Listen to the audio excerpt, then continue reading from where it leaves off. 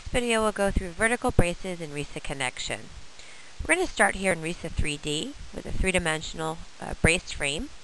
And we can see here this is just a, a wide flange uh, brace frame and I'm going to just show you the connection rules. So I've already gone ahead and assigned the connection rules at the end, ends of the beams and of the braces. Uh, connection rules are defined inside of the data entry toolbar connection rules spreadsheet and you can see we have a diagonal brace which is connection type diagonal vertical brace. Uh, so all we have to do here in RISA 3D is solve the model. So I'm going to go ahead and solve the batch solution. When you're in RISA 3D and you're taking your solution over to RISAConnection, it's important to do either the, the batch solution or the single solution. So with the solution present, I can go ahead and take the, the director button at the top right corner. So I click on that, and I have uh, RISAConnection as an option. I'm going to click on RISAConnection automatically going to launch RISAConnection for me in the background. And we pop up here in RISAConnection. What I see here is that I've got a, uh, a, a, 3D frame, which is the name of my model in RISA 3D. But then I also have a group. So I'm going to click on that. It's going to highlight the group. And I see I have three connections within inside that group. So those are the three vertical braces I defined in RISA 3D we look at that uh, a little bit as a, as a group, we have uh, that group covers all three of those connections. So when we look at the properties, this is the group properties. Now some of these properties I can adjust on a group basis and some I'll need to go down into an individual basis. So the group, we can see a little bit of information. It tells us the loading. It varies, obviously, for these connections. It tells us some of the components. All of these are similar components, so it gives us some of that information. This is all being controlled over on the RISA 3D side. If we look at the beam there, we can see that each one of them has a double angle, uh, clip angle, clip angle, excuse me, connection with a bolted connection on one side uh, from the column fastening, and then the beam fastening is welded. Now this is the beam to the column. So what I'll like to do here is I'm going to actually switch this to be both bolted and either uh, for both sides of the connection. And that automatically adjusts it for all three connections. We could go ahead and, and look down at farther at what the angle section was, how many uh, column bolts you have, how many beam bolts you have, and you can make adjustments here on a group level. We're going to actually go ahead and adjust things individually. But if we look at the bottom brace, we have similar information. It tells us whether it's bolted and welded. And we're going to keep that type of a connection. It also gives us some of the, the uh, group functions here we can adjust. So what I'm going to do now is just click on one of these connections up here. You can either click on the connection itself or click on the name. I'll click on the name itself here, M12. This is the J end. And we'll look a little closer at this in three dimensions. So when you're in three dimensions, you can just click on the on the, any of the elements or the components inside of that connection. And on the right side, you'll see it's jumping around. It's telling me what I'm clicking on. So now I'm clicking on the bottom brace. It's gonna, if I click on the actual brace itself, it'll show me that brace name there. I can click a little bit further, like the connection uh, bolts. If I click on the bolts there, it's going to show me some of the bolt information. Uh, but one of the easiest ways, and we can see here, there's a general beam and bottom brace, and so there's a lot of information, but one of the easiest ways to adjust any of this information is to pop into the 2D view. So if I click on the tab 2D view, I can see here there's some uh, dimensions listed on this. It gives me an ability, just like it did in 3D, to be able to click on any parts of this element. Uh, for me here, what I want to do is maybe adjust some of the number of bolts in this connection. So I have three bolts on top, and that seems pretty good, but maybe the bottom is a little excessive. I have four bolts, so what I might do is adjust that. By clicking that on that, I see that on this opens up my bottom gusset column web bolts, and I can just see here from the bolts per row, I'm going to adjust that to be three versus the four that I had. And then I also maybe for these brace here, I'm going to click on the base bolts and I can see it gives me the same type of information, bottom gusset brace bolts. I can adjust the bolts. I'm going to tell that to be um, only three there as well. So I'm going to change that from three to four and all of a sudden it adjusts for me.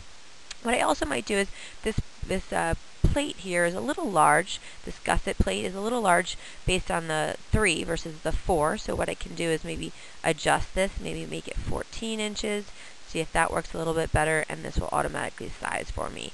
So I've got all this now set, and I can make, look at the front view. If there's anything I needed to adjust there, that looks pretty good.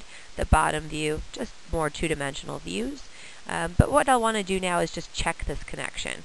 I've made some changes. Let's see if it works. So I'm going to say solve current connections. And the, the model, this one, single connection will be checked. And we can see on the right, it tells me it's passing, and it's at 0.4, which means that it's not uh, close to even being uh, completely there for the 1.0 unity check. So I'm going to drop to the reports and double check what's going on. So looks like here I am looking at the reports and it tells me some information. Uh, from that M12 here, it tells me unity check was happening in load combination 4. I can control the load combinations here. I'm just going to jump into that maximum load combination. I can see where I got that high unity check. Not very high, but high as I have. And it tells me in the summary report, which it tells me here that beam column connection beam gusset beam uh, connection. I've got the bottom gusset column connection and the bottom gusset brace connection. Now these are summaries, so it's not going to be interactive here. It's just telling me the controlling limiting state and the maximum unity check that I find. It gives me some of the uh, the forces and the rundown of the materials that I used for this this connection. So there's four different connections that are actually in this one connection type. So to look at this a little closer, what I'll do is look at for example, the beam column connection. So I'm going to go up to the top and see a little bit more about what was happening in there. So I'm going to click on beam column. And now this gives me a breakdown of the individual checks that happened on this uh, one connection. So what I see is I have that 44% here. That's the beam block shear. That's the one that was controlling. And I can expand that, that calculation and see a little bit farther what happened here.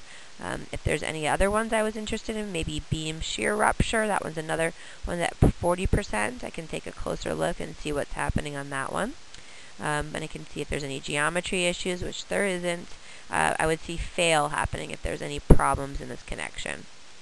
So I could then go through this one by one. Now this is the beam column connection. We also have all of the other types of connections broken out. So you can see the bottom gusset to beam, very limit, uh, small little uh, weld connection, not very many calculations on that, but you've got the bottom gusset to column, a little bit larger, and uh, some more interesting ones here, bottom gusset to brace, that might be one that you might be interested in. Take a look at your Whitmore sections, uh, plate yield stress there, and you can look at farther that. The other ones you have in here is your members. Now, uh, these are being controlled from RISA 3D as they came in, but what you can do is this is nicer your report, so you can see a little bit farther about what was going into these calculations. Um, maybe you can understand this. If you need to uh, change maybe a K value, for example, if that's not uh, what you're using, you could adjust that over in the RISA 3D side and then bring that back over. Um, so if you go over to your components, you also get a breakdown of each type of uh, what was happening for the, the properties and, and the different uh, distances that you're using for your gussets, as well as bolts and welds. They've got all that information. So what we want to do now is kind of take a look at the rest of the model. So we'll go back to our diagonal brace, and what I want to do is just run the entire project. I'm not going to make changes to the other connections, but I can see just leaving them the way they are, they all pass just fine and I've got them all passing and I can take a quick look at those reports and they all look just fine. So once I've designed all three connections, I will be able to save this model and then send it back to RISA 3D. So go to File and I'll go to Export, Export Connection Results to RISA, push that and I will see that RISA 3D highlights at the bottom of my screen I'm going to go back over to RISA 3D, and there's a, a, spreadsheet showing the results. It gives us a rundown of what member was connected to, what type of connection, if it passed or failed, the maximum unity check, and then the limiting state that was governing for that. So what we we can see on here is a spreadsheet, nice format, and that shows up on our results toolbar. But what we will also want to see is this graphically. So if I go to just where we saw those connection rules, we also have connection results. I'm going to click on that and that will show us color-coded what passed, what failed, and if there was no result. So we see passing in, in the green showing us for those vertical braces. This concludes this video.